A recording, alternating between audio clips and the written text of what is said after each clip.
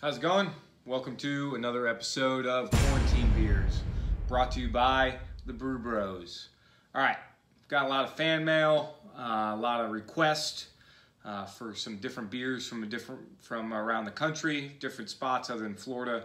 I know we've been doing a lot of Florida beers.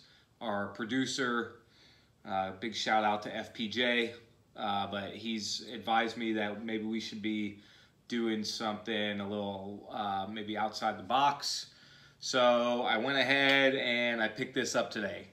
It's uh, Asylum. It's from left the Left Coast Brewing Company, which I think is pretty clever because it's out of uh, California, uh, San Clemente, California, which if you're familiar with maps and directions, California is on the left side of America. So um, yeah, Asylum comes in a glass can or a glass uh, glass bottle. It's dark, as our friend Craig lets us know that keeps the light from getting in and and ruining the beer. So that's a good good thing, I guess. Uh, you know, good job doing that. Uh, it's got like a little Sane Asylum gates on the front there. I don't know if you can see that. Uh, it says it's handcrafted by Left Coast Brewing Company. It's 11.8% alcohol. So, alrighty, I'm a fan. Uh, now let's get into it.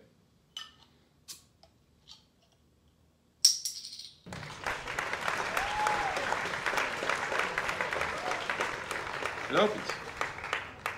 Amazing. Right off the bat, smells pretty good. It says it's a Belgian style triple ale. I don't know what that means. I know Belgium is somewhere in Europe, which is which is in America, but I know they've been making beer for a long time, so I'm gonna trust them.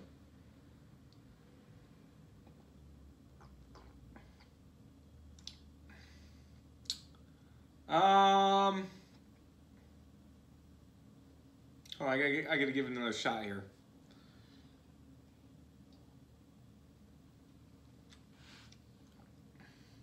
Uh. I like this beer. It's not it's not like super refreshing. I wouldn't want it on a hot day. Definitely like a dinner time beer. It's malty. Uh, it's thick. I, I, I just got it out of the fridge, so it's it's pretty cold. Um, yeah, I'm a fan of this beer. I could drink uh, maybe maybe two or three of these with dinner. Not a whole pile throughout the day. Probably get sick of it, like the the sweet taste, the malty caramel taste. But I mean, it's good. Don't get me wrong. I like this. I'm a, I'm a big fan of this beer.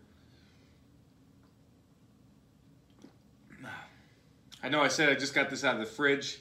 Uh, if you guys are ever wondering, the coldest beer you can ever drink is out of a styrofoam cooler filled with ice.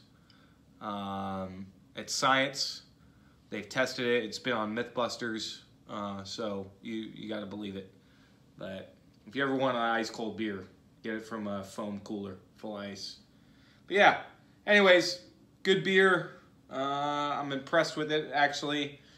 Uh, very, very good. I, I definitely would drink this with dinner or something. Uh, one out of good, it's on a good. So that'll do it for us. Uh, yeah, go out, give it a shot. Cheers. Y'all have a good one.